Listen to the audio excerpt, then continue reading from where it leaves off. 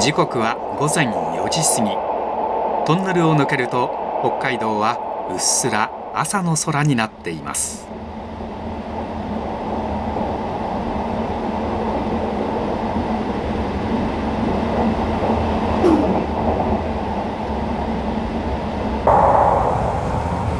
えー今ですねようやく長い青函トンネルを抜けてまして地上に出ました、えーだいぶあの空がね明るくなっています。夜明けが近づいています。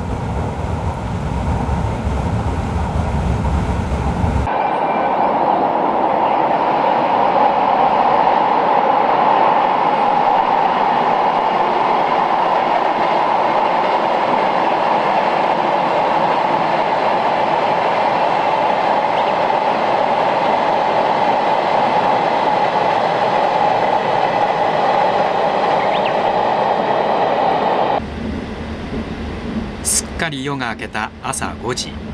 列車は七重浜を過ぎて五稜郭へ向かっています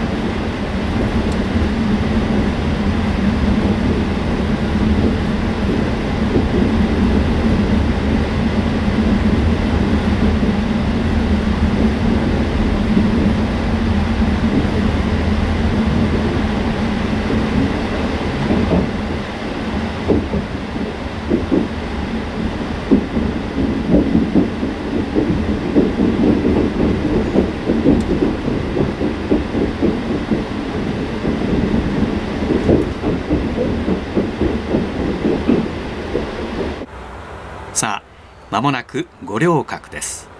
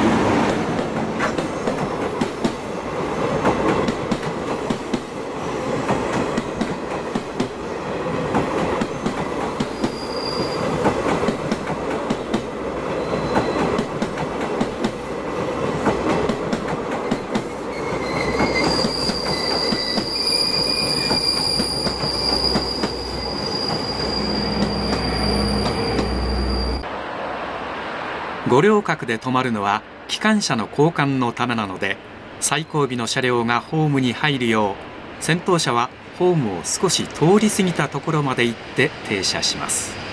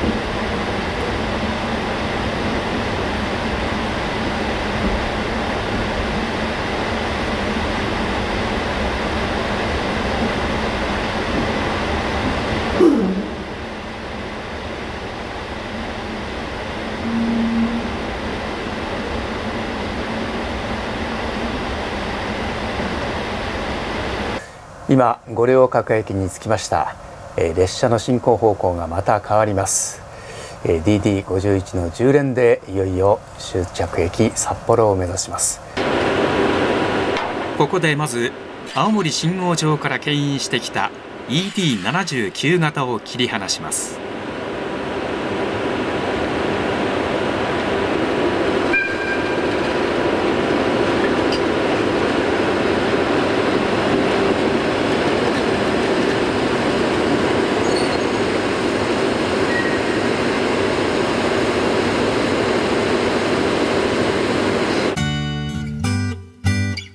この ED79 型は1986年国鉄が青函トンネルを有する津軽海峡線の専用機として製作した交流電気機関車で国鉄分割民営化後にも JR 貨物が追加製造しています。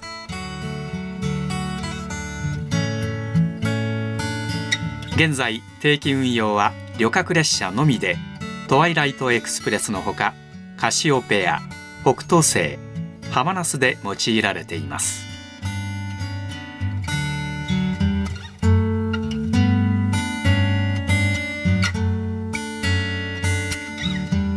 主電動機は MT52C 型を4機搭載。定格出力は 1900kW となっています。そして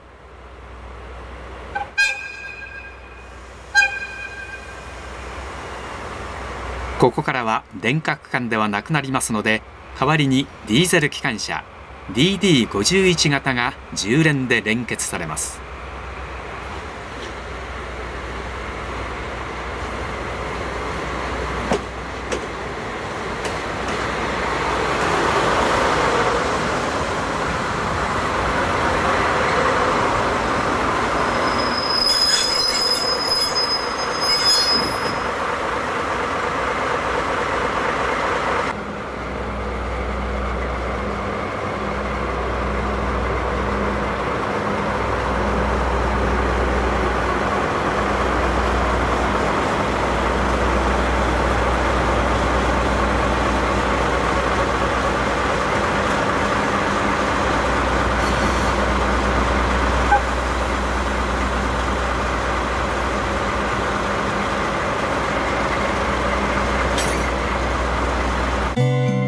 国鉄が1962年から製造した DD51 型。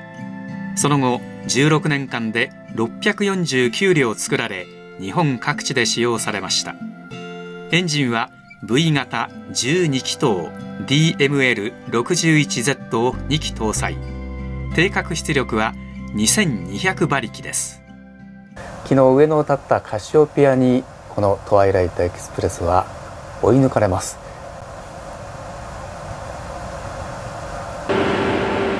ここで函館駅を経由してやってきた寝台特急カシオペアが先に札幌に向けて走って行きます。牽引するのは同じ DD51 型です。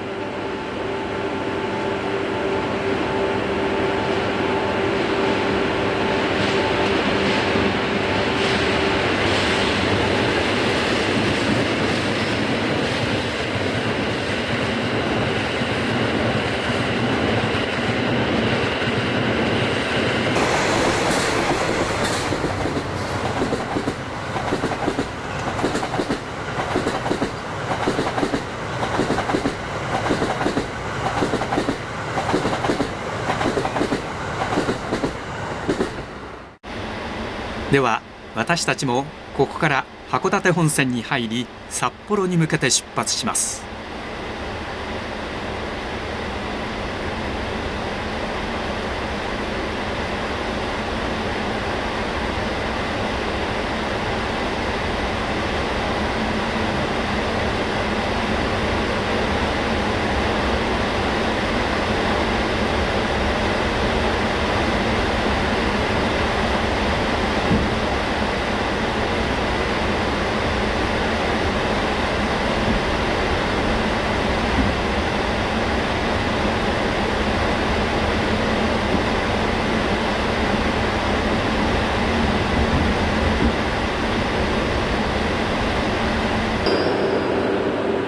五稜郭からの出発シーンを最後尾車両を捉えた別のカメラでもう一度。